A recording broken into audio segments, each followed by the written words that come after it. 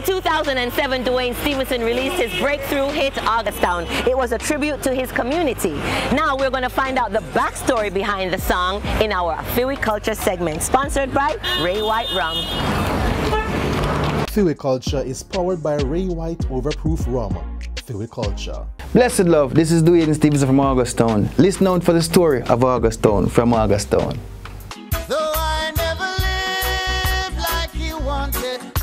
I'm still mindful of what he taught me.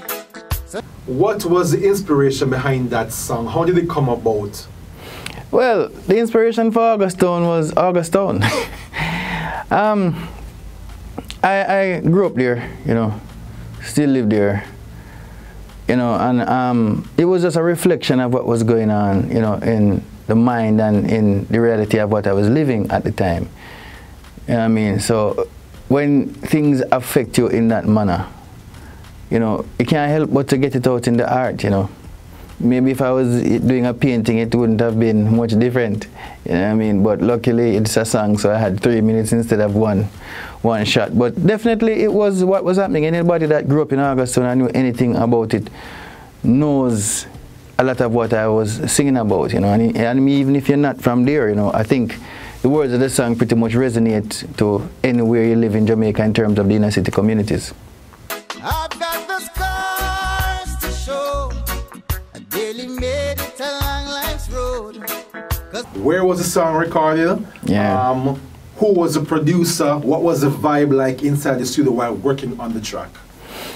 Um, well, this, the song was produced by um, Dean Fraser. At the time, a lot of the works that we were doing was at um, Anchor Recording Studio. You know, I was working simultaneously with um, an album with Tarrus Riley called Parables, and we were also doing co-writing and helping with ideas for um, an album for Luciano called Navigator.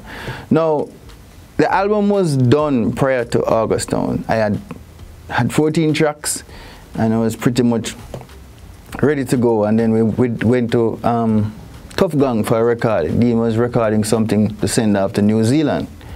And I went in there and heard the track. I said, no man. So we, we, we pretty much hijacked the track between myself and Tarrus, hijacked the track. I said, is that leaving go anywhere? Why? Um, and then, you know, once the, the process of writing started, it, it just seemed to be the perfect fit synergy because I had so many things I wanted to say about what was truly affecting you know, myself and the community. And it seemed to just work well with, with that particular track. I didn't even realize that it was actually a rendition of um, Jalib track up until the song was, was done. And then the football ground became a battlefield, and my life seemed so surreal. Did you think the song would have been a hit song? Were you surprised it took off? Um, listen, those days, you're surprised if the song even play on the radio.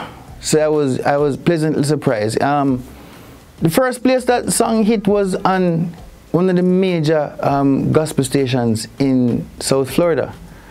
It was the, the biggest black-owned station, um, gospel station in America at the time. And the reason why I knew this, because the first show that I did, um, not a full-scale show, I think I did about four or five songs, was in a church that was put on by this gospel station and I was with Shirley Caesar, Lieutenant Stitchie and Glacier Robinson and them. This was in a church and that was the first performance of that song publicly.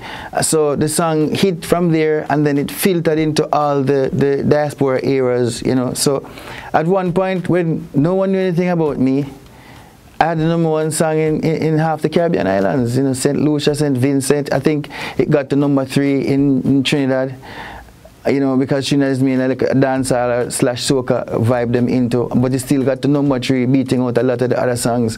So when I was getting marginal play in Jamaica, it was a major hit in all these eras, which is very interesting to me, I mean. I was mindful of what he taught me. Um, how did the success of Augustown um, change your life? What kind of doors did it open for you locally and outside of Jamaica? Well, um, it immensely changed, you know, everything for me. You know, you know, it was an opportunity, firstly, to kind of, you know, put my family in a different trajectory. Understand? So that was the most important thing to me. You know, it was an opportunity to change how things were forever. And that was the main thing. You know, and beyond that, of course, you know, the music took me to all these these new places and introduced me to all these different cultures. So my whole process of thinking changed because of all of this new knowledge that you know I gained. And of course, as a career, I was now you know, I had a foothold in a lot of these, the, the, major markets for reggae music, you know, whether it be Africa, the United States, you know, um, vastly in the Caribbean, to even South America, you know. So it changed, it was a whole new world for me. I would never, will never get tired of performing that song because of what the song meant to me.